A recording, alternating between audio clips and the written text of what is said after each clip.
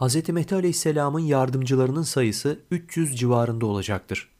Hz. Mehdi Aleyhisselam cemaatinin sayısı 300 kişi civarında olması da yine toplumun büyük bir bölümü tarafından tanınmadıklarını gösterir.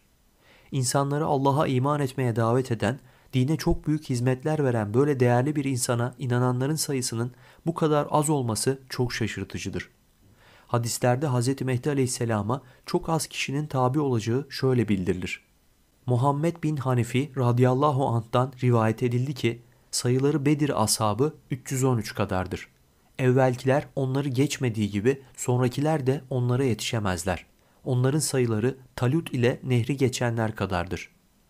Bedir Savaşı'ndaki askerler gibi 313 kişinin kumandasını elinde tutarak etrafa meydan okuyacak. Çünkü bu 313 kişi gece abid, çok ibadet eden kimse, gündüz kahraman niteliğini taşır. Aralarında kadınların da bulunduğu 314 kişilik bir grup oluştururlar. Onlar her zalime galip gelirler.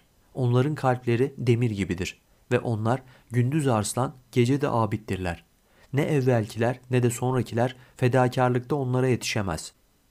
Hz. Mehdi aleyhisselama aralarında kadınların da bulunduğu 314 kişi biat edecektir. Bediüzzaman Said Nursi de sözlerinde bu gerçeği hatırlatmış ancak sayıları ne kadar az da olsa Hz. Mehdi aleyhisselam cemaatindeki kimselerin her birinin manen çok güçlü olacaklarını belirtmiştir. Bu vazifenin istinad ettiği, dayandığı kuvvet ve manevi ordusu yalnız ihlas, sadakat ve tesanüt, dayanışma sıfatlarına tam sahip olan bir kısım şakirtlerdir, talebelerdir. Ne kadar az olsalar manen bir ordu kadar kuvvetli ve kıymetli sayılırlar.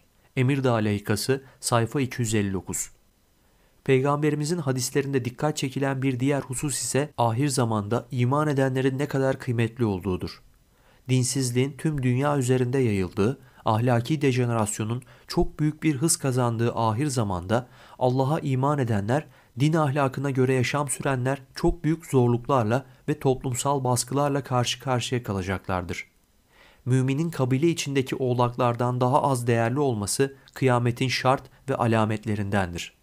İnsanlar üzerinde öyle bir zaman gelecek ki o zaman da dinine karşı sabırlı olan koru eline alan gibi olacak.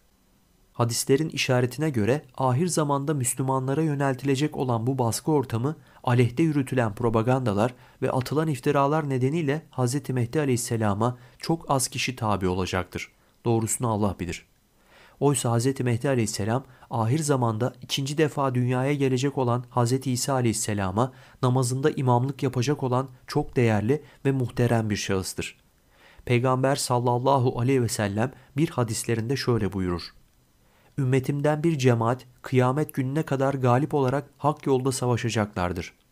Hz. İsa aleyhisselam inecek ve Müslümanların emiri gel bize namaz kıldır diyecek. O hayır siz birbirinize emirsiniz. Bu Allah'ın bu ümmete bahşettiği bir şereftir şeklinde cevap verecektir.